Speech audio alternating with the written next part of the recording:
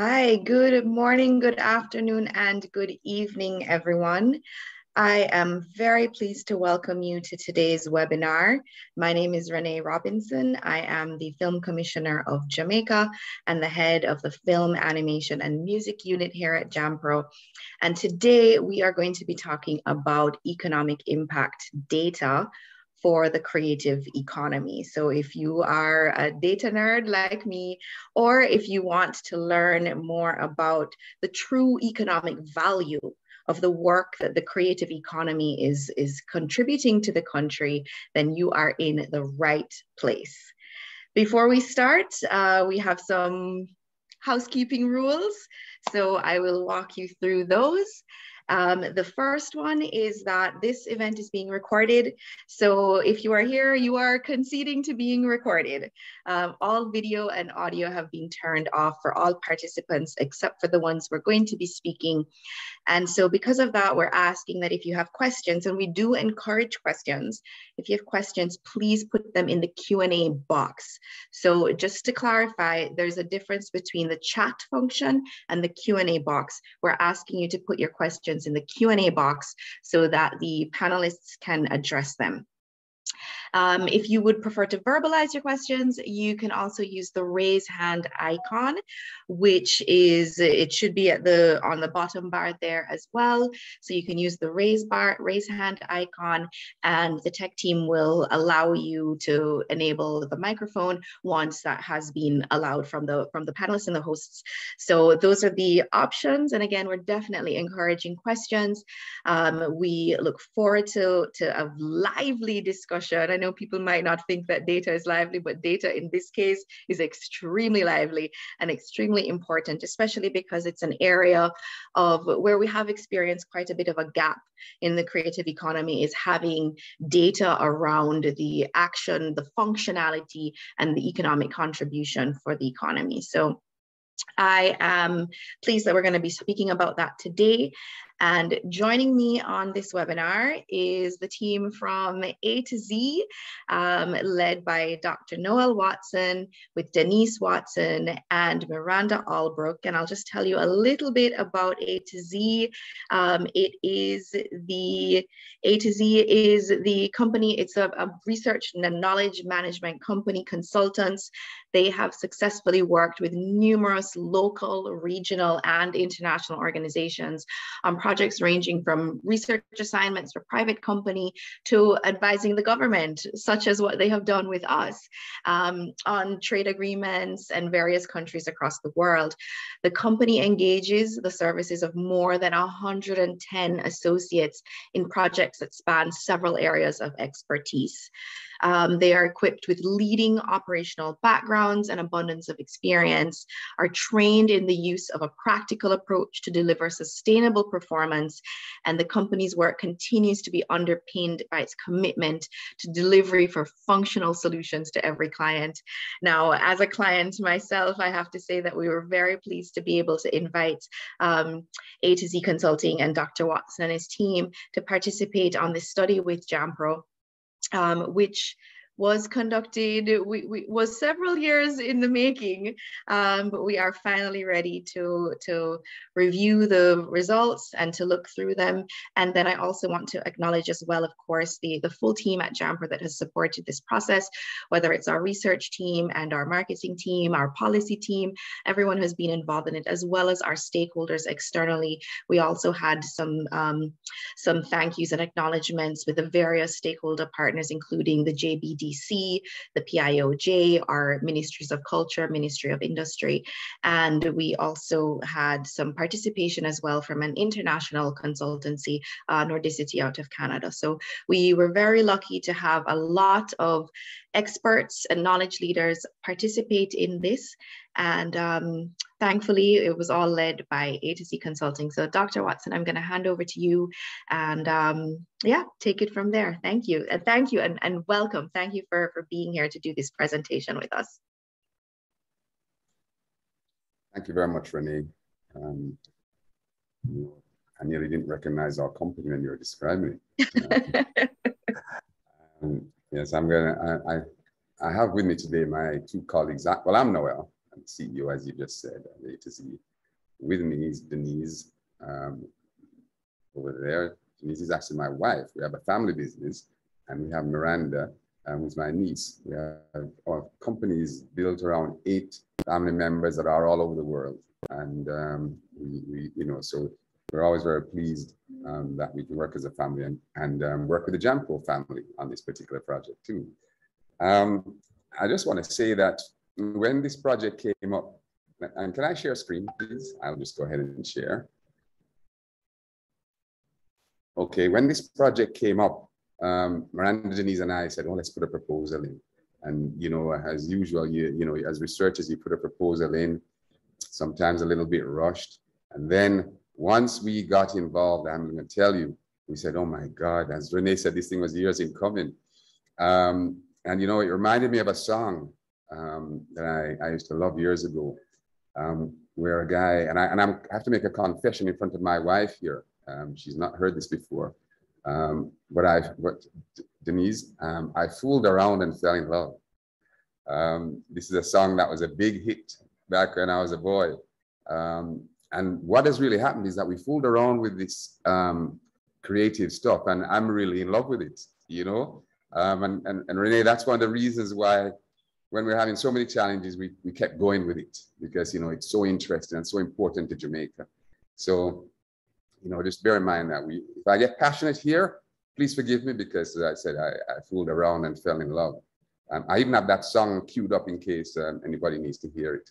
So yeah, so colleagues, um, everyone listening, the, the, the, the, objective of the study was to do an economic impact study on Jamaica's film, animation, and music industries. Um, and we call those FAM for short, F for film, A for animation, M for music. So when you hear us talk about FAM, it's not some French word for female or anything like that. It's just um, film, animation, and music, okay? Um, so the contents of what we're going to speak about today, I'm just going to introduce um, what we're doing first. Then we're going to tell you about our data collection processes, um, the, the, contribution of FAM to GDP I'll tell you about. We look at the value chains so that you'll get an idea of what's in film, you know, all the way along the value chain. What's in animation? What's in music? Um, you know, I didn't realize that there were so many elements in these um, creative sectors until this, um, I started falling in love with this um, sector. And then we're going to look um, at the economic impact. So um, don't worry about the words because words just cannot describe the challenge that we had, um, but we're glad to be here. So the presentation shows um, the results of the study, okay? And the key objectives of the study were one, to provide a comprehensive account of practitioners in the F, in the FAM industries. You know, who's out there? What are they doing? and then to quantify their contribution to their industry. So if you're, what's, what are the film um, practitioners contributing to the film industry? Um, what are the uh, animation um, practitioners contributing to their industry? And what are the music um, practitioners contributing to their industry? Because first of all, we have to look at what they contribute to their industry. And then we move to the next one, is look at quantify how the, the economic activity of film animation and industry. So apart from contributing to their industry, what you're going to find is that, um, you know, people involved with film, you have people that cook food for the, for the people that are working in the communities, you have people that make dresses, you have people that do a whole lot of things. So when you think of film, just don't think of film. It, you know, the impact goes all the way across the economy. And to be quite honest, many times those benefits are greater than the benefits themselves to the people who earn, for, earn or are involved in the film, or even to the industry, because you know it goes much wider. And so those are some of the things that we're going to pick up in the in the study. Um, apart from examining previous studies and other secondary sources, our main objectives um, and our main approach, to be honest, was working with knowledgeable stakeholders to provide critical information. Now, what's amazing out, out, out there about these industries is that the common thing that you'll hear about these industries is that there's no data. And that is true. However, there are some people in the industry, if you speak to them, they could speak to you for the next year nonstop about how this thing started from here to there and every element of the industry. But it's in, in their heads and not necessarily down on paper. and the data goes along with it, that should go along with it, isn't there, which may be one of the reasons why, you know, we, we the policymakers um, don't have enough data to even assist the industry more, industries more than they, they do. Um, we sought the knowledge of these knowledgeable stakeholders in disseminating our specially designed um, questionnaires um, to, to various niches out there, um, to their members, um, because um, they have memberships. The associations we work with have memberships and we work with them. And we collaborated with them to extract from the internet valuable information available on FAM industries, especially in the music industry. And I'm going to tell you about that a little bit later. I mean, if you have ever, if anybody has ever interviewed people from the music industry and get them to tell answer a set of questions, please come and tell me how you did it. Um, because it's not easy. And I understand why. And we, we worked with these people to get their validation on the findings that emerged from our study. So I'm going to move to my next slide with my, okay. And I just want to start off um, a little backwards. I'm going to tell you some recommendations um, just to, you know, to get your adrenaline flowing before I go into how we did this. So one of our recommendations that came out of this study based on all the information is to start up reggae parks and other parish facilities to foster local performances. We made this in a recommendation years ago in another study. What we're saying is this, we need recommend, we need reggae parks in all of our parishes to, you know, to, to develop the reggae music in the parishes um, so that when, you know, Jamaicans and tourists want to get reggae, you can go to Trelawny, go to St. Ann, go to Clarendon, and reggae is there, you know, and it's not just reggae, it's music in general. And you, you know, and there are a lot of young people out there that want to get into the business. Um, we need to give them a, a, a, feeding ground out there. So we could collaborate with, with um, football clubs and other clubs that are there and let music be part of the whole thing. So that's one thing we really think we should do. We should provide training and development to upcoming artists. There, I mean, everywhere you go across Jamaica, I mean, when I when I go around Jamaica, I have young guys coming up and singing to me and saying, "Boss, you like my music? You can let me help me to boss." And that kind of thing. Um, there are a lot of talents out there, but you know, we need to provide proper training and development to upcoming artists because really what we want to make Jamaica is a mecca um, for music um, all the way through at all levels. That when, you know, in Jamaica, it's just seeping through our systems. When people come here, they, it's just seeping through their systems. We need to take advantage of that opportunity that we have, which we've created for ourselves. We need to dialogue, no more dialogue between FAM practitioners and the government to enhance trust. We found that there was a, a lack of trust between the industry and the government. They feel that if the government is, is talking to them, it's because they're after pursuing the, you know, their money. So as a result, they become very secretive and they don't want to. That's why they don't want to talk to us, by the way, because I think well, when A to Z gets the information, we're going to go back to the government and the government's going to come running for them.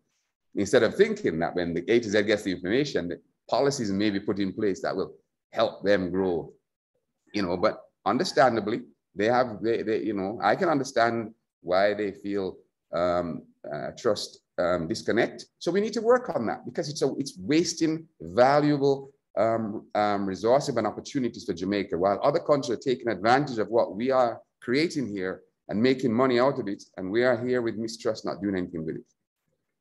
We want to, we think we need to maintain a current data on FAM industries. So Renee, we need to be encouraged to, to you know, to get data current on it. So, so, you know, we don't want to wait another 10 years before another study comes up to get the data. And then we have to start all over again. We need to foster and reward creativity and do not tax creativity. And what are we saying there? I think something that we need to do consider is actually making Jamaica um, a creative tax-free zone or a creative low tax zone so that our creatives will want to stay here or return rather than run to America and or other places because of the mistrust, but they can come back knowing that they're not going to be taxed um, heavily. And not only will it encourage our Jamaicans, it will encourage foreign creatives to come here. So when, when those foreign creatives come here, um, it's going to be like a bit like those remote um, programs that Barbados and other countries have taken advantage um, and are doing very, very well during COVID, where creatives will come here, they'll write, they'll do their songs, they'll do their poetry, they'll stay in our villas, they'll stay in our hotels, they'll stay in our Airbnbs. And Jamaica will be that true creative center. Now, some people say to me, oh, but you know, creatives need to pay their taxes like everybody else. And, and, and this is what I heard when I said it to a minister once. Yes, they need to pay their taxes, but the fact is, if they're not paying it by staying away or moving their money abroad, you're not getting it anyway. And what I honestly think here is creative. Everybody has creative potential. And so it, I don't believe it should be taxed for anybody. So let's take the Minister of Finance. If he comes up with a creative idea, um, I don't think he should be taxed either, right? Um, and the other day in his budget speech, I heard him singing a song. You know, I said, you know, me tell you, sir, me did tell you, and he sang it, and the whole of Parliament was entertained. Everybody was laughing. Um, that's good. He can be creative. And I'll tell you, we have a thing in Jamaica every year, colleagues, where called Powerful Jamaicans, where they entertain us. And I'm not kidding you. There's some of those people are much more talented, in my opinion, in their singing, their creative, their dancing, than in actually what they are out there, their, their, their, their main profession, even though they're good at that too. So I, I think that they should go for that. We should be encouraged to go for that. And they shouldn't be taxed on it right? So I think creative, everybody's creativity should be, should be, you know, encouraged, whether it's those people that are in it full time or other people, because then you stimulate it. Um, so I, I, really, really think that's something that Jamaica needs to look at and, and encourage the creatives to stay and develop the industry more. We need to increase local consumption, given that local residents will be able to participate. Now, this recommendation is basically stemming from the fact that a lot of our artists choose to perform overseas. A lot of our people, if you look right now, you, you know, uh, well, I won't say right now, but in 2019, there were Jamaican people performing all over Germany, all over the world, all the time, not here in Jamaica. Um, but what we have to realize is when there's a performance in Jamaica, that is when local consumption kicks in because local people start to spend. The hairdressers are in business, the tailors are in business, the local car rental services are in business. The villas are in business. I mean, you could you just have to look back to the Buju Banton concert some time ago. You couldn't get a rent a car in Jamaica. You could hardly find anywhere to, to, to stay. The food people on the street were selling. Um, if you understand the multiplier effects, that is when Jamaica really benefits from our creatives, when it goes well beyond the creative people to all of all Jamaicans that can participate. But if our performers are performing overseas, you know where those benefits go? They go to Germany. They go to the countries in which they're performing. And worse than that, when, the, when they make their money over in Germany, they say, boy, I don't want to carry it back to Jamaica because the tax man is going to say. So we don't even get the benefit of that, right? So we really need to invert a lot of what we're doing. Let local people come to our performance. And when Jamaica is that mecca that I discussed earlier, where our performers are performing locally, then the tourists will come here to watch us rather than, you know, we go there so that they can watch us. And we'll earn the dollars. You know, the, the only problem is will we be able to deal with it? But I'm sure we can find a way to deal with it. So we need to increase local consumption because it goes beyond that. It's pay school fees. You know, I will just say that a lot of times in, you know, in our communities, they're underdeveloped because the government doesn't have the money um, to develop some of our communities. Well, what we need to do is let our creatives put more money into those communities and develop it from within and don't have to depend upon the government. Okay, that's how we have to do it. Okay, I move on to custom duty exemptions and waivers on imported equipment. That's important. What we're finding is that some of our creators are saying um, they're not accessing this. We need to look at that. Um, we also need to encourage foreign artists and other creators to come to Jamaica, which will provide opportunities collaboration um, where beneficial, as well as provide multiplier effects in terms of spending on accommodation, transportation, um, and um, and transportation and, local, and other local expenditure. So we really need to encourage foreign artists and other creatives to come to Jamaica, right? So that when they come and perform here, we make some more money from, from that here and they work with our people and um, it's a, it's a win-win. So I just want to start with those recommendations just to stimulate you um, and get you thinking. So now um, moving into the next slide to look at um, um, the data collection process. So having said all of the above, we had to collect the data to do this study. And at first we thought it was easy. So we designed our specially, um, our special data collection instruments using Google Forms. Miranda did a great job. They were sent out to practitioners on behalf of us, on, our, on behalf of our team. Um, and um, unfortunately, industry associations weren't able to share their membership list with us because of confidentiality purpose. So we had to depend upon them to send it out. Um, so we couldn't follow up. Um, we were also able to dispatch data collection instruments to practitioners who we knew personally. So, you know, we know a few people, so we sent it out to them and they sent it out to their friends. Um, JAMPRO had lists and we used those. Um, JAMPRO also advertised a survey and made the links available on its website. And JAN, um, which is a Jamaica Anima Animation National Network, they hosted Instagram live events and other events to get their members involved. The president went through the process of completing the questionnaires with members and posted the link in a chat window for animators to complete. It, we were really, really, really thankful for that effort. And you see, when the associations work with the consultants, it's better for everyone. General limitations that we found in, you know, uh, you know, there's a, there is a dearth of information. There isn't a lot of information out there on the sector. Um, and in many cases, there's no baseline um, data out there. So there, a study that was done before um, had no baseline data to compare whether it was whether it was um, effective or whether things had changed after, and, and it's similar for us. Many practitioners in, in the FAM industries, especially in music, you know, they, they chose to be somewhat informal um, with respect to their operations in order to minimize the extent to which they have to divulge information about their businesses. So they stay informal, they don't register because they don't want anybody, they want to stay under the radar. I mean, apart from the fact that this means that they cannot collect some of their royalties, it means also that you can't find them and they won't speak to you. And we have to change that. We have to change the thing, the, the, the whole order, so that our artists are proud to stand up and say, I made $15 million from my trade last year. You know, just like LeBron James can stand up in America and say, you know, is, what he earns is not a secret.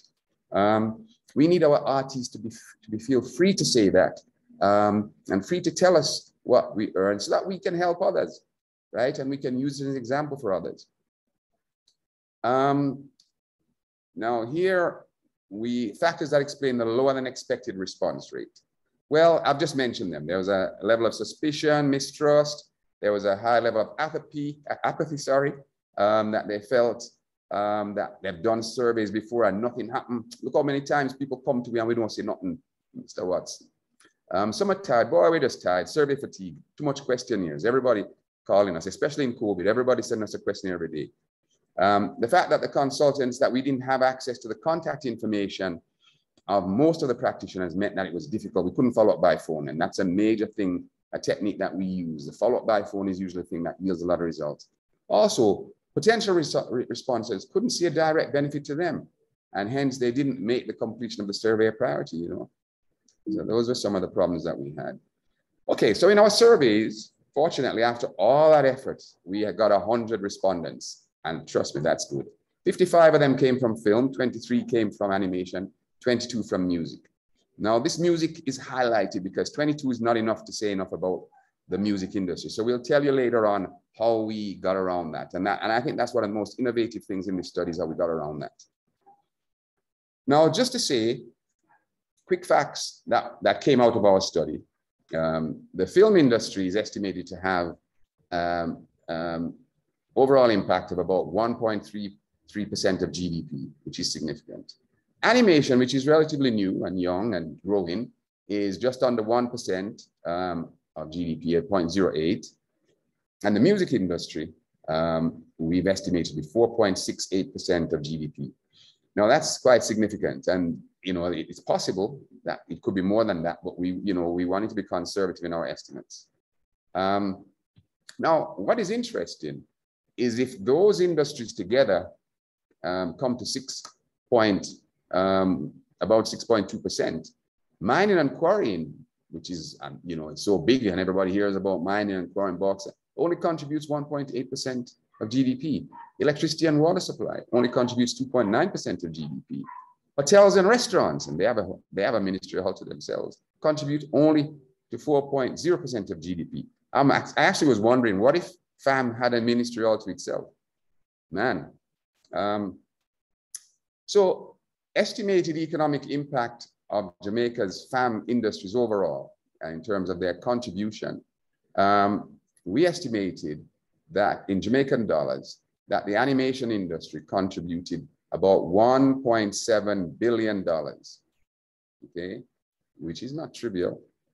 The film industry contributed about $28 billion. And the music industry contributed about $98 billion. Now, all of this is against a GDP for the whole country of, um, you know, $2 trillion. You know. And I'm going to, in the next slides, we'll give you a little bit more um, insight into that.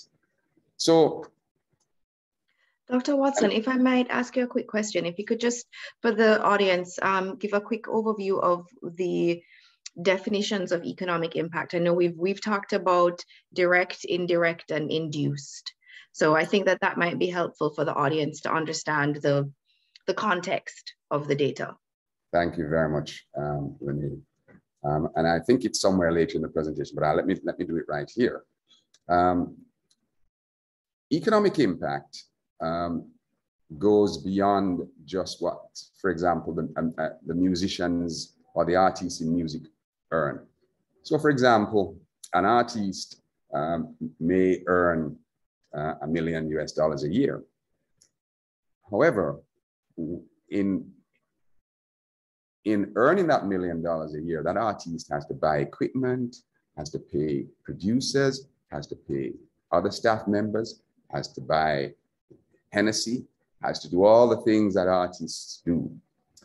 And so, so, so, so that, means there is indirect um, expenditure or indirect impact as a result of what they do. So it's not just what they earn, there's indirect because they also spend in their industry, buying their music, etc., etc., and the things in the industry. But outside of that, there is what we call induced effects.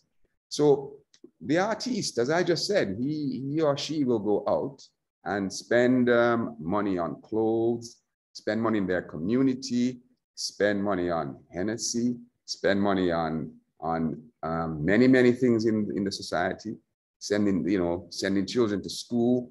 So the impact of what he earns induces, and that's why we call it induced, induces expenditure in all different parts of the economy.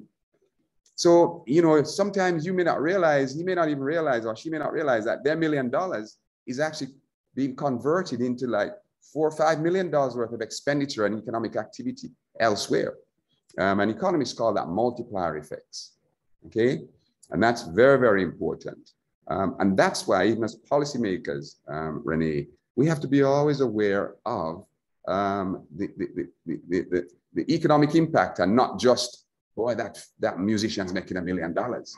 What you have to realize that if you run him down and he doesn't make that million dollars and you lose it, um, and not only do we lose that, then we lose all the multiplier effects. All I mean, and we can see this in terms of what happened in COVID recently. I mean, COVID basically shut down a lot of that, those industries. Um, and, you know, as a result of that, that shut down the earning of a lot of people in music, a lot of artists, you know, had to try and find other ways to make uh, money.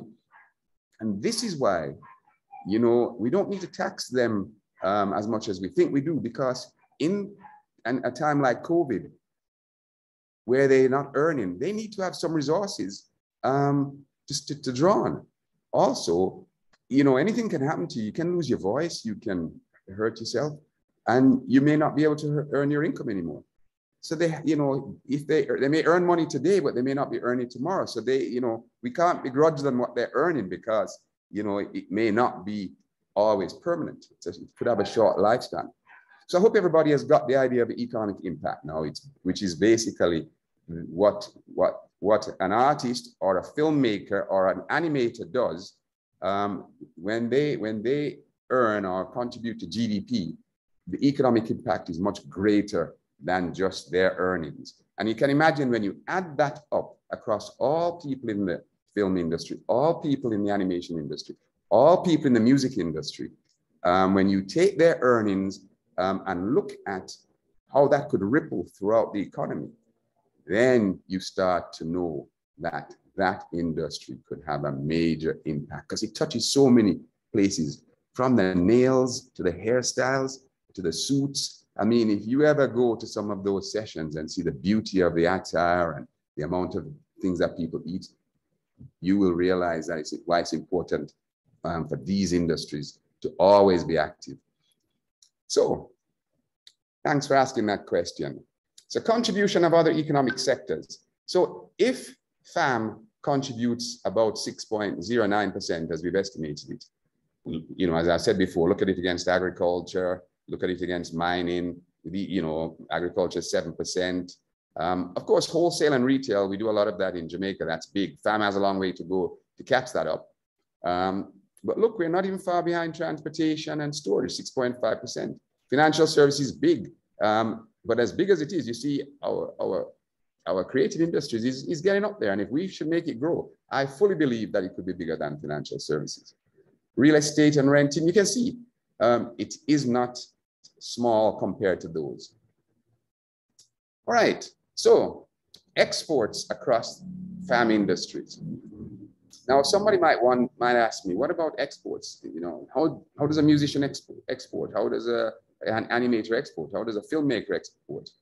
Well, the majority, 81, 81 out of the 100 respondents indicate that their products were exported.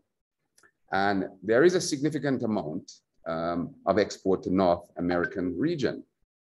And overall exports to the Caribbean are relatively small, um, indicated by 18% of respondents. And based on the findings to date, the most common mode of exporting by FAM practitioners is electronically over the internet or by courier. So let me just stop to tell you there. You don't realize, even in my business, when I send off a consultancy report to a client in um, Brussels, that is exporting. When a, when a musician um, sends, um, you know, by electronically, you know, some music or something, um, or a filmmaker sends, um, you know, some some aspect of their filmmaking um, overseas, or an animator sends um, one of their their products overseas by internet or by a courier, that is exporting, and that is often shown up by you know earning foreign exchange. But also, export happens um, when people from overseas come here, like when the tourists come here, and they actually consume our music and consume our products here. So you're actually exporting. So many of us are exporting and don't even know we're exporting. Um, I once said to a banker, um, you know, did you know that um, that um, financial services are exported? And he hung up the phone. I mean, you don't know. After he told me, I didn't know what I was talking about. I, because a lot of us think that when you provide banking services locally, you're not ex exporting. But trust me, even financial services are exported. 11% um, of respondents across the FAM industries export to other regions in the world, um, with the majority coming from the film industry. The film industry, you know, exports to all over the place. You'd be surprised. Okay, um, I am going to take well, a little um, sorry, sorry, Dr. Watson, I think as well in that, just um, so to clarify as well for the audience that when we're thinking about export, it is export of services as well as export of goods. And that's the reason that I think many FAM practitioners don't necessarily consider themselves an exporter primarily because we, we are still in the process of shifting towards the, um, the mindset that what we are doing is in fact export of services. And, uh, you know, according to the WTO, there's four different modes of export um, of services. And we actually are very closely aligned to that. So I really do want to encourage the practitioners who are watching this to explore some more information about export of services because this is another way that you can demonstrate your economic impact. Thank you very much for that, Renee. And just before Denise, sorry, just before Miranda comes in, I will just say, Renee just mentioned the WTA having, WTO, sorry, having four modes. And I'll just tell you what they are. The four one, the first one is um, what um, what I explained to you when you when you do it by courier um, um, or by internet. Um, and that's where the service, the, the person who's providing the service actually doesn't leave where they are, but the service moves across a border, right? The next one is um, where the, the person who's consuming the service actually comes to Jamaica to consume. Um, so that's they call that consumption um, abroad. So the foreigner actually comes here and consumes our music, our animation, sits down with one of our animators, our, our, our film people, and do it, does it right here in Jamaica. The third one, mode three, is when you actually establish overseas a business.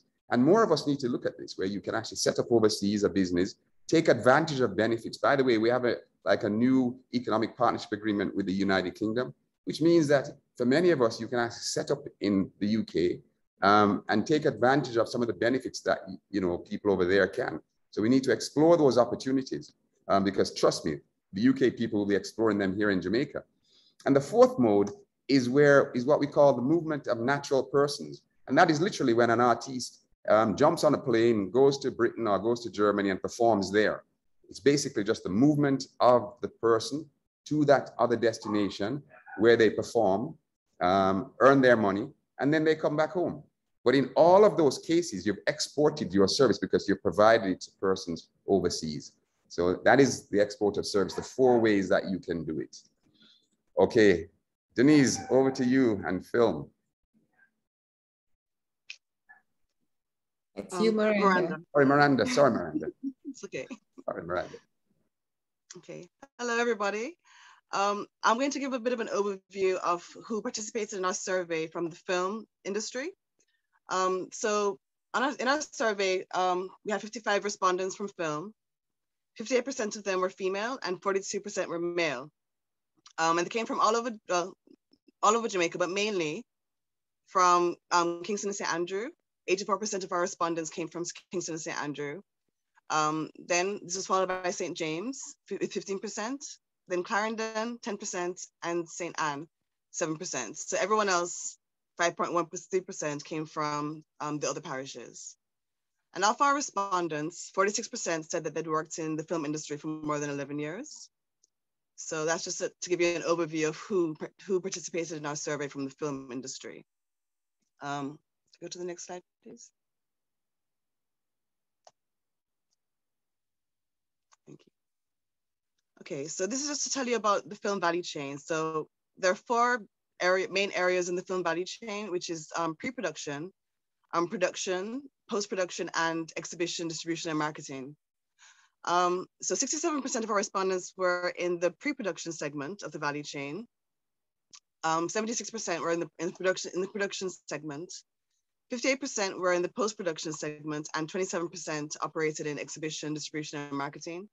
So we can see from this that the most popular um, segment of the film value chain is the production segment. Um, and in the next slide, I'll tell you a bit more about who, who it, that entails. So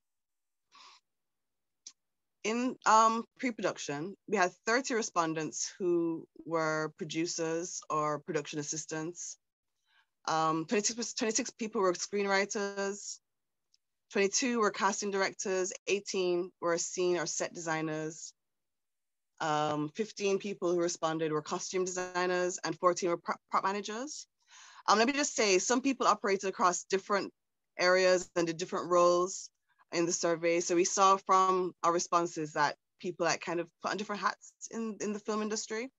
So some of these people were producers and screenwriters or producers and casting directors, for instance. So in production, which is our most popular um, segment, 31 people said they were producers or directors, 28 were camera crew, 23 people were location managers or cinematographers, 21 people were actors or makeup artists. So um, actors and 21 people were makeup artists. So that was um, same number for two, those two sections.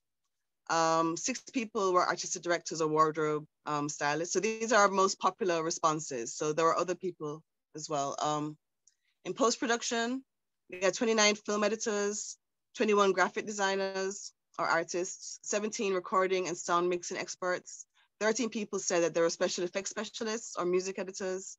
We had 11 musicians, nine animators, and eight illustrators. And in distribution, which was the least popular of the segments, 13 people said that they worked in marketing um, or administration. 11 people were accountants or PR staff. 10 people did poster designs, nine people were publicists and eight people were advertisers. Four people were technical staff and three people were film sales agents. This is just to give you an idea of who um, responded to our, our, questionnaire and where people operated in their in their um, organization across the film value chain. So could we go to the next slide, please? Sorry.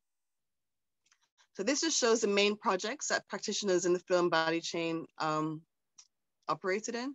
So the most popular thing that people did, most popular activity um, is like commercials, where 71% of people who, who, responded said they did commercials. Um, this was followed by social media and online content, with 69% of people saying that they were involved in social media and online content. And then this was followed by documentaries, 62% of people said that they their firm did documentaries. Um, and this was followed by training or educational programs with 36% of, of people who responded saying that their firm did um, training and educational programs. So after this, we had music videos. Oh, sorry, no, wedding and video events, event videos, sorry, that was 27%. And then music videos was 24.5% of people did music videos. And then we had a tie with short films and feature length films, where 22% of people said they did both of those. And the final um, area that people were involved in is serialized productions, um, where 7% of people said that they um, were involved in, in this area of the film value chain. So a quick yes. question for you, Miranda. Um, this just came up in the chat. I know we're going to do the majority of the questions later, but we did, this is quite actually relevant to what you're discussing right now, is because we had discussed it. Um, what was the differentiation between persons who work as freelancers versus persons who are working in jobs employed to companies and how did that break down in the demographic? I have to look that up. Sorry. Um, can we come back to that? Sorry to put you on the spot. We can definitely come back to it, but it was. It's. I think it's quite relevant as you're breaking down the demographics of of who participated and how they were, how they participated. And I remember it was something that we did speak about when we were designing it. So, and I just saw it in the chat. We can definitely come back to it. Definitely yeah, will, Matt. Thank you. Um, Denise, you want to come in now and talk, talk about animation in the meantime? Thank Good you. afternoon, everyone. Um, I'm going to speak about animation and the survey size, the respondents, we had 23 respondents for animation, which was pretty small compared to the film. However, animation, as you know, it's a very young, relatively young industry. So that was not, you know, that was expected. Um, practitioners in this industry are said to be very cross-functional and multi-skilled. The smallest industry, it's the smallest industry, as I said before, based on the data gathered from the survey respondents. It is a male dominated, or it seemed to be a male dominated industry. We found that 78% of our respondents were male. The industry appears to be made up of younger practitioners with the majority, 40% of them between the ages of 21 and 30 and 39% between 21 and 40. Most, which is 87% of the respondents indicated that they have been working or operating in the industry for under 10 years. So it's a relatively young industry. And 82% of the respondents indicated that they operate mainly out of Kingston and St. Andrew. Next slide, please. Okay, in terms of the role of practitioners in the animation value chain, well, the animation value chain is pretty similar to the value chain of the film that Miranda just went through.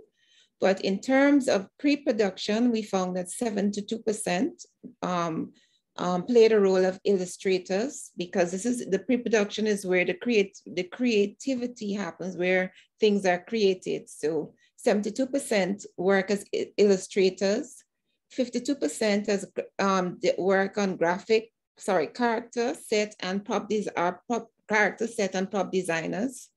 48% are storyboard art, worked in the area of storyboard artistry. 48% art are art creative directors and 38% anim, animatics artists. and then 22% are visual effects editors. And as Miranda said, as in film, we found that a lot of people could do a lot of things and people are very talented and operate across various roles within the within one segment of the value chain as well as across different segments of the value chain. In terms of production, we found that 60% of the persons engaged as 2D animators, 40% um, engaged in roles of anim animation, animator directors, 40, 40% 3D animators, for another 40% digital painters, 40% character anim and 40% character animators, and 35% 3D modelers. And in the post-production part of the value chain, 47% operated as film and video editors, 42% animation and effects editor, 37% animation directors, another 37% um, also as sound effects editor, 32% and 26% um, post-production editors and sound designers respectively. So this, I mean, we were just interviewed 23 persons. So this tells you that persons were operating across the various value chain. Um, next, various segments of the value chain, sorry. In terms of the projects that the practice practitioners in the animation value chain in, in the different segments of the, the projects that the people worked on, the 78% worked in digital animation, 35% in traditional animation, 35% were involved in social media and online content, and 35% were involved in commercials and YouTube videos. You know, those are very popular right now. In terms of website animation, there was 30% of the respondents were engaged in that. 26% um, were involved in computer generated in imagery, short films, and visual effects and 22% were involved in architectural, previs, rendering, music videos, and non-entertainment animation. And non-entertainment animation could be like training animation that you would use in training, like medical animation where, you know, you probably can use that to train doctors or to talk about um, something that may be happening health-wise in the country. So those are those would be your non any non-entertainment animation. Next slide. Okay, so Miranda. I'm going to hand back to Miranda for the overview of the participation from the music value chain. Miranda, just before you come in, I just want to address Renee's question, one about freelancers versus um, companies. Um, yes, in our sample for film, out of the 50 um, respondents, we had 29 of them that were companies um, and 26 of them that were freelancers. However, speaking to the experts in the industry, they estimated that there were probably 50 companies about that were in the film industry, about 50, um, and about 500 freelancers. Okay. And those were important numbers for us because that is what we use later on to go from sample to population. Um, and some, some interesting things that you might want to know that the average, average size of projects that um, companies were involved in was about $3 million. So the average film company, were, um, you know, because remember, these are people making videos and you know, they're not all making big blockbuster movies. There, a lot of them are doing, you know, relatively small things. The average um, is 3 million, whereas for freelancers, it's 1.25 million. So you can see that freelancers are a lot smaller. Um, so even though there, there are many more, they, they operate on smaller um, projects. Um, and um, the same thing, oh, by the way, um, freelancers tended to average about 12 projects per year, whereas companies who have more capacity tend to average 17 products per year. So you can see the companies did more and did larger ones. And obviously they, they have the capacity. in animation, we got you know, we had, we had five companies in our sample um, and 10 freelancers, sorry, 18 freelancers.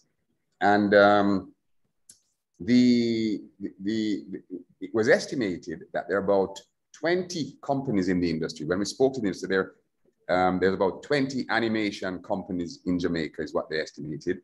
But but about, you know, the estimates of the number of practitioners um, went up to like, you know, anything up to a thousand because um, JAMPRO, amongst other entities, had programs where they were training animators. So we have a lot of trained animators across the country.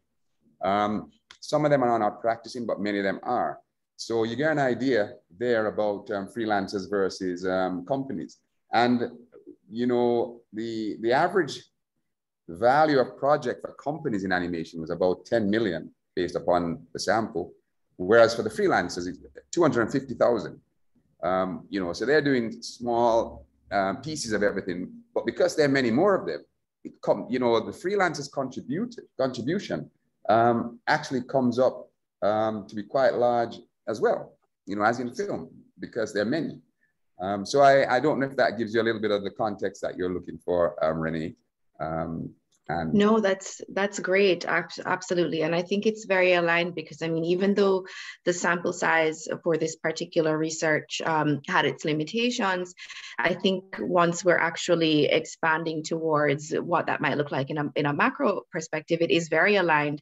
Um, sort of anecdotal information that we've gotten from the industry associations, they would say.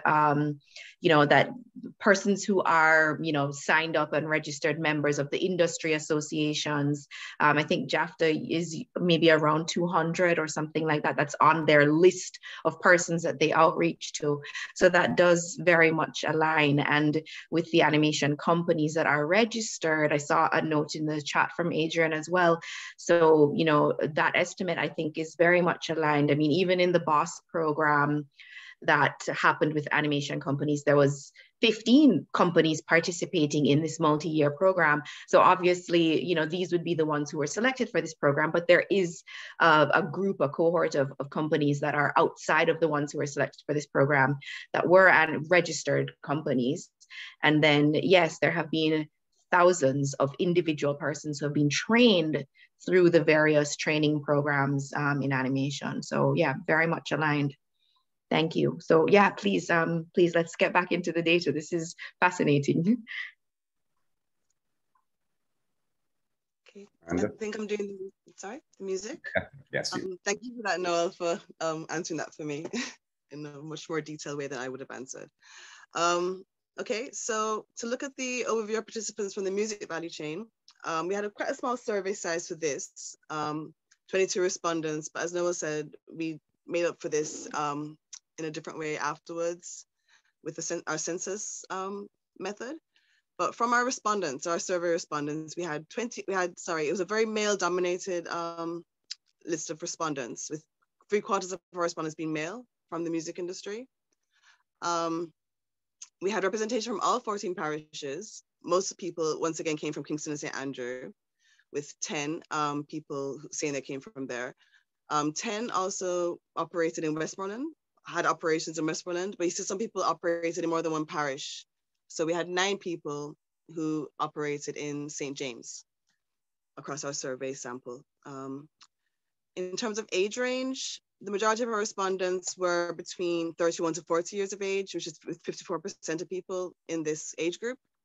Um, and everyone else between 21 and 70 years of age were um, 50, sorry, 46% of everyone else was um, in the other age ranges. 68% um, of our respondents had operate, have operated in the music industry for the last, from over 10 years. Um, and 68% said that they were freelancers and 36% said that they were operated as a company. So that's just to give you an overview of, um, of who answered our, our sample, our survey from the music industry. Sorry.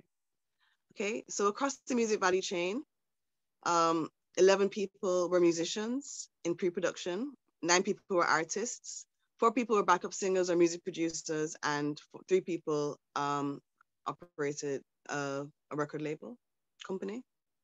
In production, which is once again our most, um, seen as the most popular um, section of the value chain in music also. 12 people were musicians, 27 people were artists, six people were backup singers or music producers, four people were music managers, two people were business managers or recording studio staff, and um, one person, sorry, is that one person? One person was recording studio staff. looks like three people. So in terms of post-production, four music producers or mastering studio um, employees were, worked in post-production. Um, two people said they were music managers or media manufacturers or recording label um, music service providers. Um, and in exhibition, one person um, who responded work who works in exhibition um, was a music distributor or physical retailer, digital music um, distributor or video sharing services or podcast um, in podcasts. So we had one person um, saying that they worked across those different sections in our responses. Um, can you go to the next slide, please? Sorry. Okay. So these are the different roles of partitions in the music value chain. Um, I'll say most people were musicians, with 12 um, people saying that they were musicians. Um, this is followed by artists or performers, where 11 people said that they they they, they were this. Um, then we had 10 backup singers, um, three promoters or organizers of festivals, two event promoters or organizers of shows, um, two event organizers or street of street dances, and three people said that they did live music or event streaming. Three people were music managers, um, two people were business managers, and music. Two people did music venue bookings, and one person was a booking agent. So these are the main roles that um, of people that responded to our questionnaire. Can we go to the next next slide, please? Mm-hmm. Okay. So the main projects or partitions in the music value chain um, we see that the live music sector and the production segment within the recording industry were the most active areas of the network of the music industry, music value chain, um, with 36% of people saying that they um, did DJ performances or, you know, like parties, events where they had DJs. 32% of people said they did live performances. So this covers the, um, the live music sector. And then we had 18 people who said, percent of people that said they did music production. 80% of people said they did, they were musicians in a band. Um, 9% of people did equipment rentals. 9% of people were hotel performers. Um, 5% were live, did live recordings. And then the rest were quite small, um, like 0.5% of people did studio rentals, merchandising, singing lessons, or like taught in the music industry. Um, and this is based on our 22 respondents. Next slide, please. Okay, so that's it for the music industry and who um who responded to our questionnaire. So I, why that that thanks Miranda and thanks Denise so much. Um, Denise and Miranda were the ones out there um, struggling and getting all that information and know it so much better than than I do. Um, so you know now when they brought all this information to me, it was now, no, what am I going to do with it? Um, the, the, the thing is, what, what we have just showed you though is how is the span of the industry. So many people, so many players in so many places across Jamaica. Um, so now we spoke about this a little earlier about our um, approach to economic assessment, the economic impact. Now, in, in, in doing this, we, we looked at previous approaches. So one of the main studies out there, one of the main companies out there that has done economic assessments is a company called Nordicity. They've done work in the UK, Canada, and other places, and have estimated the impact of various creative sectors on economies um, before. Um, I think Jamaica is not as easy as um, the UK or Canada because um, everybody has to be very formal in there. So they can use tax revenues, for example, to estimate a whole set of things on their industry, um, things that you, you can't even start doing here. Um, but the, the, approach really had us estimating the number of players in each of the FAM industries. So it was important, if you're going to do the impact, you got to estimate how many people are there. Um, you've got to identify, um, you know, where the various players operate in their respective value chain. And then we had to estimate their direct contribution. And I mentioned this earlier through the collection and analysis of income and expenditure data within their industry. And then you have to estimate um, the economic impact through multipliers, etc. Um, now, one of the things that we would have hoped for and a researcher hopes for is that your statistical institute or JAMPRO or PIOJ or somewhere has this data and you can just pick it up. Um, no, and that's one of the reasons why JAMPRO asked us to do this study because they want to have the data so that the next person that comes along has something to base it on. Um, so, you know, we didn't have a lot of secondary data that could really help us, which is, which is unfortunate since there's so much out there. Um, so that was a um, thing, but that was the approach we we're going to take. How many people are there? Um, where are they? How much they do they do they um, earn or contribute to their industries, and how much does that expand to the general economy? So um, the, we mentioned some challenges, and for the data collection process using the online survey, we face uh, numerous challenges. Um, for film and animation, the results obtained from the online survey, um, because they were quite good, and Renee mentioned that they're quite representative, it will underpin the process of estimating the economic um, um, impact of, of film and animation. We're quite comfortable that the, da the data that we got from those industries, because the associations know their industries quite well, so they can actually triangulate or corroborate what we found them from the data. Well, the music industry is a little different from that. I mean, it's all over, all over the place and um, pieces here and some fantastic people out there that can tell you fantastic things but you have to go get them. It's not, you know, you can't get it as easy. So however, the, the relatively low response in music would lead to questions about the credibility and reliability of the study if we were to rely on that only. So this called for some creativity. Um, we had to use, we had to become a creative um, ourselves to try and figure out how to do this. Um, and um, funny enough, you know, the idea came to me one day. I spoke to one of our artists, um, somebody who does some great work and I and I like her music very well. And I said, look, could you tell us up? Could you could you answer these questions for me and get some of your colleagues to answer the question? And she said, Noel, come on, man. Nobody now gonna answer that question here where you have there. And if them answer it, they're not gonna tell you anything that you want to hear. So don't bother waste your time. And like I was just dejected. And but then she went on to say, but look, if you get a group of us together and sit down and talk with us, we can give you an idea as to how you can get the information. And you don't have to say anything about anybody and nobody nobody's business has to come into play. Um, and that's why sometimes it's easy it's better to listen to the people in the business than to come with your own misunderstandings. Um, so having um, heard that we went back and started to think. And um, what we start to think about music is this well one thing about musicians they're all out there. They're all over the internet.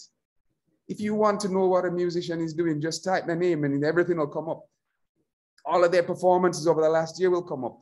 Um, so it's not a secret. It's out there. And boy, oh boy, we started to do that. Um, and boy, oh boy, we started finding information on, on male artists, female artists, bands, religious artists. It was all there. Um, in addition to that, no, what is also out there, if you ask the right people, is how much does an artist earn typically for a gig?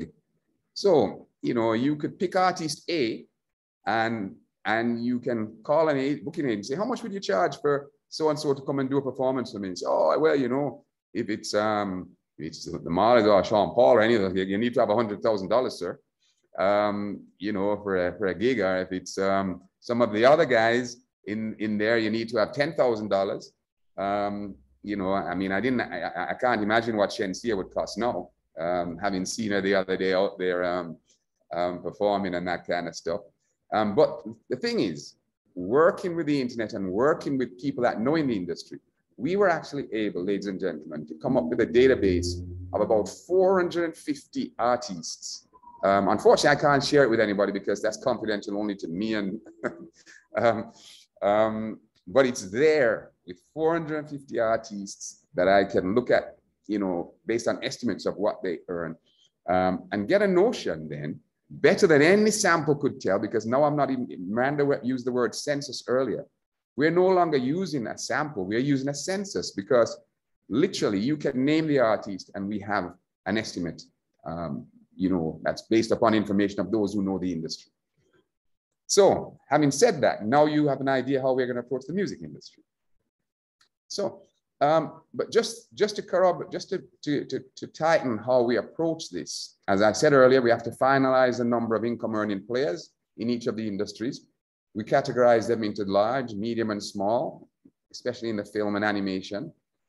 We determined, um, you know, um, the number of players in each category, how many were large, how many medium, how many were small. And then we estimated um, the averages of key impact variables. And in this study, we basically did income because that was what we could get the information on. We, we, we, might have to go back in another study, Renee, and look at employment and exports in more detail. But we got the we got an, an, an idea of what they, they produce or earn and contribute to GDP. Then we had to measure the value of key impact variables for each category. So we had to measure the, the, the income. Then we had to apply multipliers because, okay, it's okay that you found you know, how much income they're earning. But as I said earlier, that goes through the economy. So you need multipliers um, to take you through. Unfortunately, STATIN in, in a lot of countries, your statistical institute or your planning institute do have those data and they used to. And what STATIN has promised us is that I think this year they should have their new input output tables, which you can use as multipliers. But, but because we don't have that, we had to, you know, use assumptions. And using those, that's when we're able to measure the economic impact. So I will now go into um, the estimating the, the, the film. Um, just to say, our estimates show that the annual budget of companies in the film industries is about 26.6 million. That's the, the average annual compared to 16 million for freelancers.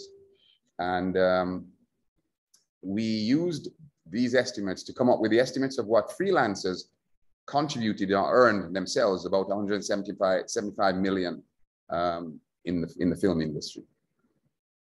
The companies um, that I told you about earlier earned about 1.3 billion, right? And this is, we found the number of companies, we found the average budgets, we multiplied them out, and we blew it up to the population size, came up to about 1.33 um, billion. Um, and for freelancers, we estimate that freelancers in film actually earn more than the companies because there are so many freelancers doing little pieces of this here, there, all over the place. Um, and um, so they they were the ones that really um, contributed a lot because when you put all their activities, I mean, 500 freelancers or however many there were against 50 companies, you can you can understand um, what it was. But in, the important thing is in total, we estimate that they contribute 8 billion Jamaican dollars um, per year in the film industry, which is not trivial. If you give me $8 billion now, I can tell you I could do a whole lot of stuff. Um, so I'll move on to, so as I said, the population of practitioners we've estimated is that there are 50 companies, 500 freelancers. The total value of projects for companies we estimate to be 1.3 billion and for freelancers, 8.019 um, billion. And the overall contribution um, of film in terms of what the people in the industry themselves earn um, was 9.3 billion. But don't stop there because these people in film spend money on equipment. They spend money on other every, every freelancer has somebody that works with him.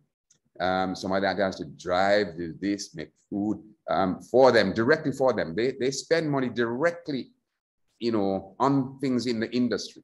So this is what we call indirect contribution.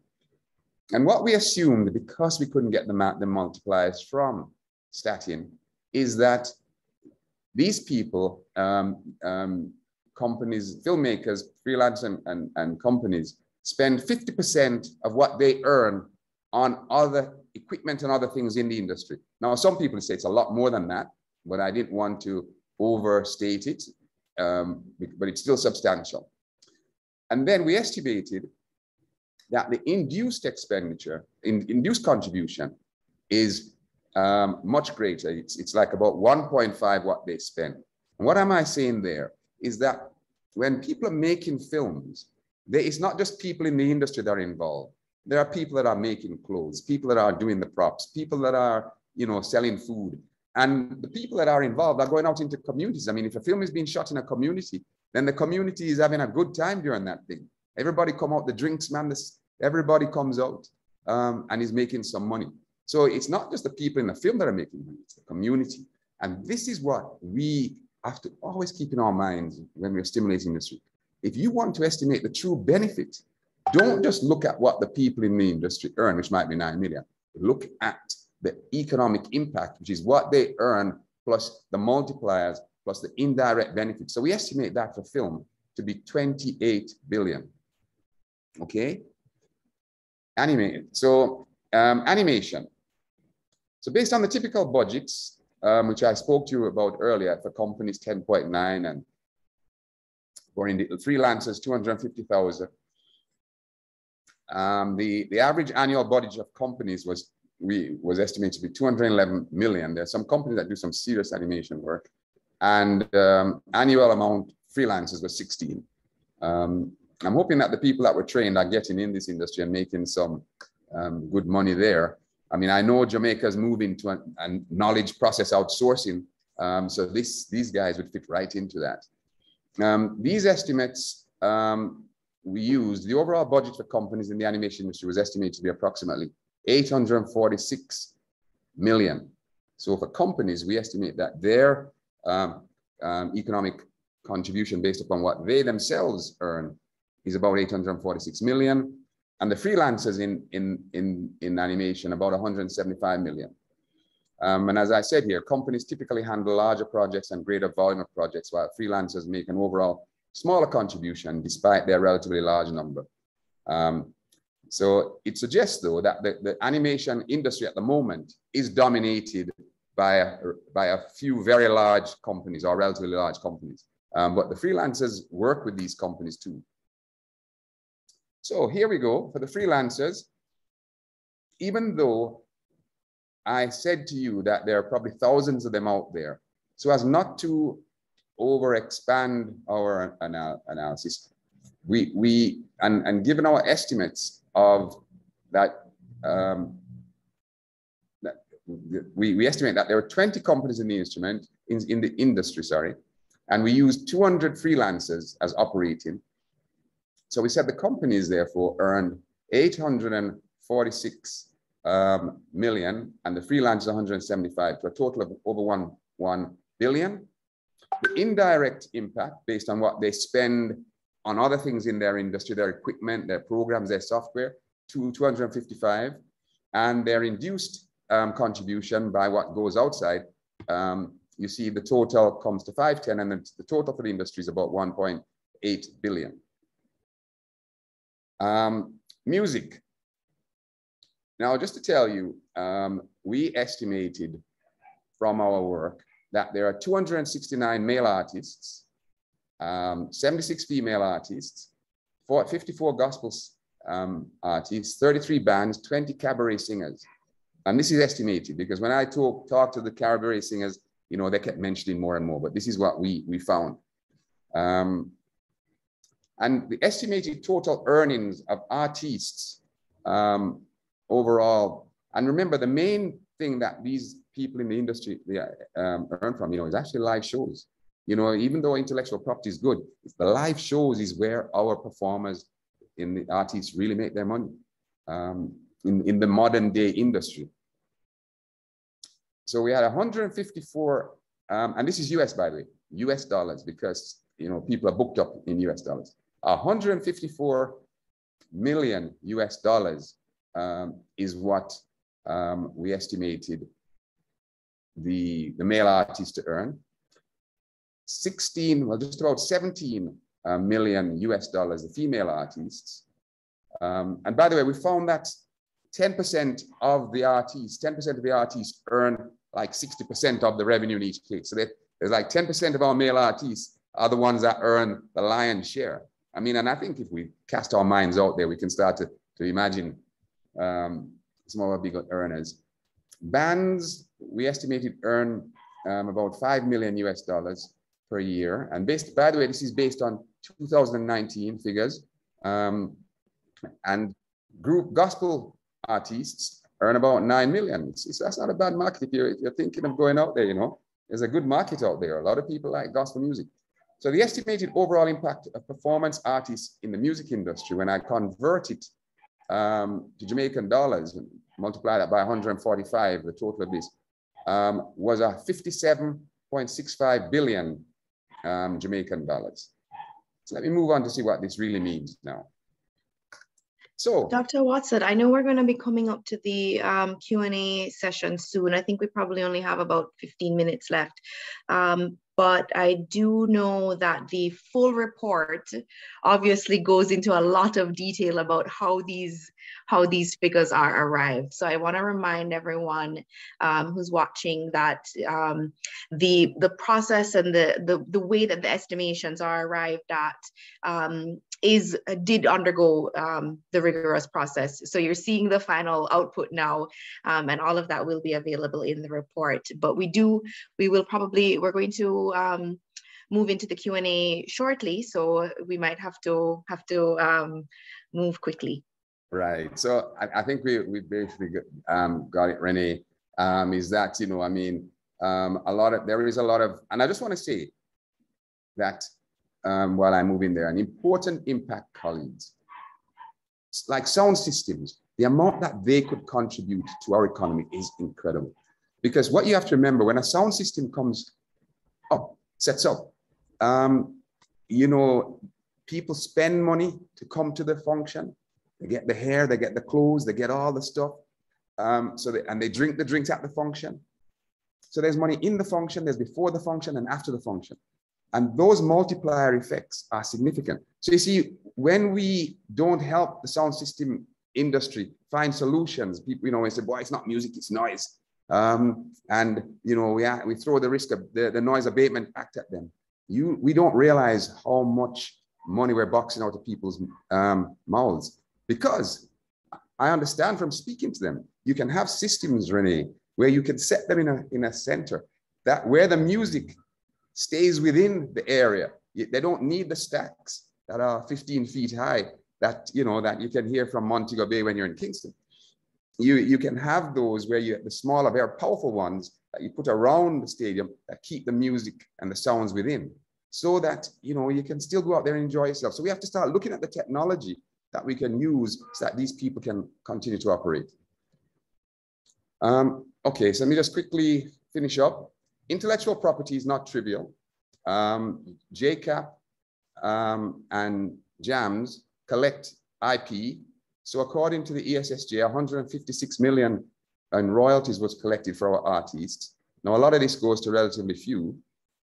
Um, and um, some of our artists are registered with overseas collective um, management organizations, other organizations collect for them. Um, so just let's say here, so approximately 40% of, of the 156 million um, dollars that's, that's collected stays in Jamaica and is paid out to Jamaican songwriters, composers. Um, this is equal to about 59 million after JACAP takes fees. The remaining 60% is sent overseas to, um, because what you must remember, our, JACAP collects not only for Jamaican artists, it collects for foreign artists who um, are on our in, who, who perform on our airwaves. So at the end of the day, they send 60% out. But what we have to note, what's interesting is 60%, a, major percentage, 30% of the money that they send out goes to Jamaican artists who are registered with foreign um, um, intellectual property organizations. So that money comes back to Jamaica as well. So we're estimating that over 100 million um, would come back um, to Jamaica. And of course, when this money comes back in, it has its multiplier effects as well. So um, JAMMS for the Music Society, they collect about 140 million. Um, and, um, and it's assumed that 100 million of this amount is collected, um, accrues to Jamaicans, okay? So, ladies and gentlemen, after telling you all of that, and as Renee said, the, the, the, the, the details are there in this big report that we have here, um, which I can take you through. But out of all of that came those recommendations that I started with and which I end with. Let's get those reggae parks going. Let's start the dialogue. Let's let's not tax our creatives. Let's do things to induce them to stay and invite other peoples to come. Let's encourage foreigners to come here and perform here so we our guys don't always leave. Um, and let's reward creativity. So thank you all so very much. I guess we'll reserve everything else for the Q&A. Great. Thank you so much, Noel. And thank you, Denise and Miranda, for your contribution. And of course, for everyone else on the A to Z team. Um, this was really very fascinating. A lot of information shared here today. Um, I also want to give a nod to some of the other economic impact reports and studies that have also been underway in the past couple of years. Um, and we did mention some of them. So there is also information that was um, reported on through the Ministry of Finance with the Ministry of Culture and the Ministry of Industry.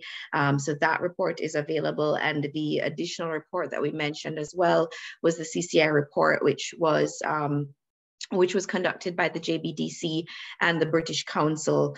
Um, and then, of course, we had um, some support from Nordicity, as did the JBDC report as well. So there is a lot more information in the space at present than we have had for several years, because up until now, we've all been referencing the Vanus James study from, you know, 2005. so, um, so we are getting there. There's definitely a need for greater, more, more consistent data collection as it relates to the economic um, impact of the creative sectors. Um, as we can see, these sectors are significant drivers for the economy, significant contributors to, to GDP, and also vastly underreported. So, uh, you know, we really do see that there's an, an increasing value for the practitioners and for policymakers and for all of our civil agencies and our MDAs, our ministries, departments, and agencies, and all of our stakeholders and practitioners out there to be more more involved in the process of data collection, data management, data reporting, and how we can use that to advance the creative economy and the impact that it has on the country. Because, you know, we look about Italawa, and this is really the creative economy is, I, I say it all the time, it is the competitive advantage for this country, and it is the creative economy that is going to future proof our country. So, you know, I think that this is um, really, really strong data, and we are going to make the reports available. Um, just need to work with our marketing team to make sure that that gets that is made available. All right, I'm going to jump into the Q and A because we did. I know we had some lively discussion in the chat all this time as well, but we do have some questions in the Q and A, so I'm going to jump in and see. We, we just have a few minutes, so I might not be able to get to all of them.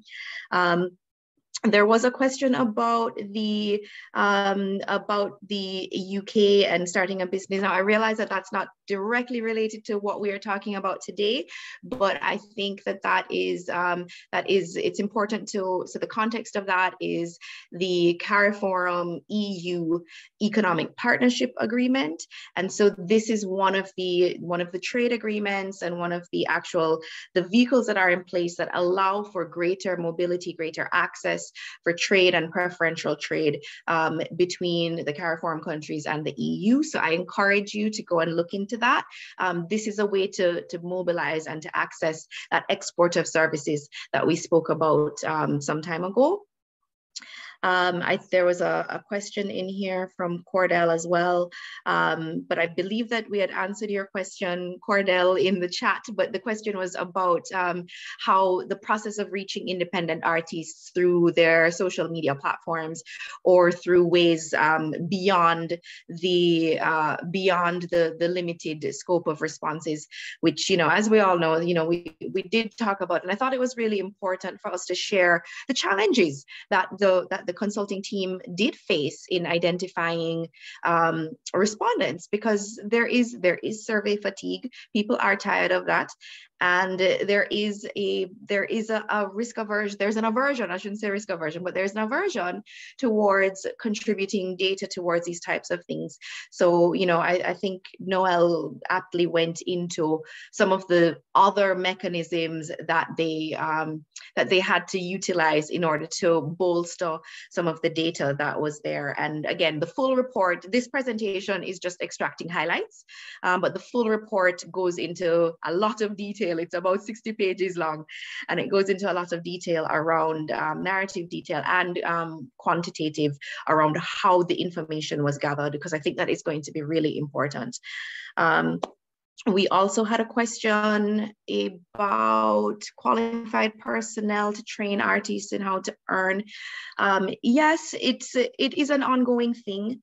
Um, we do have, we definitely have lots of persons who are local, who are qualified in upskilling and training persons on monetization in the creative economy. But I think we also lean very heavily on our international partnerships and on the relationship building and the network that we have to make sure that there is balance in that and that not just in terms of training, but also that our ultimate product, our creative product and our creative service can stand up to a global demand and can stand up to the uh, standard of quality and an expectation of what we need to be able to deliver if we are truly going to be doing business globally. So, you know, that is a little bit of a of a balance um, there. And uh, there was a question as well about the multiplier effect and taking it into account about developing incentives to attract foreign productions. Um, this is a this is an ongoing challenge. Um, we know that the incentive regime in terms of tax credits is not one that has, you know, there are there are challenges with, with adjusting it and changing it. So that's a little bit outside the scope of what we can discuss today. Um, but I think it is reports like this and, you know, consistently having this type of accurate data, which is going to drive and mobilize and galvanize the policy process into really taking this industry um, at the value that it is contributing. Um, so that is uh, that's the questions that we have there. I see one just came in about the execution of the reggae parks. Um, so this is a recommendation. Um, it hasn't it hasn't reached a point of, of execution. Um, so I wouldn't be able to speak to that today, um, but it is a recommendation that has come out of the out of the study. Um, and it actually does line up with a lot of recommendations that have come from previous studies, especially ones that are led by the Ministry of Culture because they have been calling for these special entertainment zones as well um, and additional venues for um, for live performance. And and of course for recorded performance which is a, a capital expenditure in building up that infrastructure. So uh, there are definitely a lot. I, I think a lot of what the what this report has demonstrated is very aligned both um, quantitatively and qualitatively with um, studies that have, have come through in the past. Um, and we are definitely, we need to move towards execution and mobilization. Um, but I'm really, really thankful that we were able to get this study done. It happened in the middle of the pandemic as well. So additional challenges there. Um, and, you know, we're now able to release some of the findings. So thank you, Dr. Watson, um, Denise, Miranda, and the rest of the A to Z team. We have a, a few minutes, a minute left actually. So uh, if there are any questions, if there is a final question, I will take one more before we wrap. Um, let me just check if there's any additional questions. Oh, Kelly, I do see your question about um, publishing and literature. So this study was specific to the film, animation, and music sectors. Those are only the, se the sectors that were prioritized for this particular study. Um, so what, and I guess what I should really answer to that is that there is a need for a larger, more encompassing creative economy study. Um, we have had um, business cases for this in the past, and there was the um, the mapping that was done by the JBDC, which did include um, the publishing and the literature um, sectors.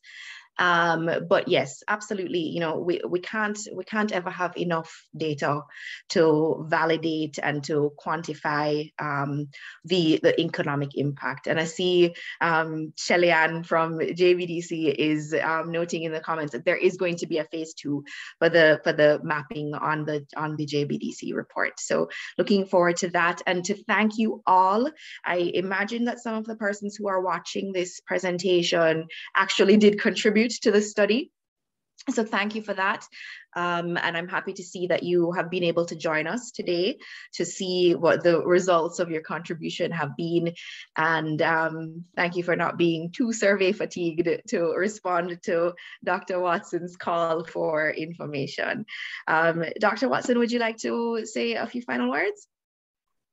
Um, yeah, well, just to say thank you and thank um, my team, Miranda and Denise.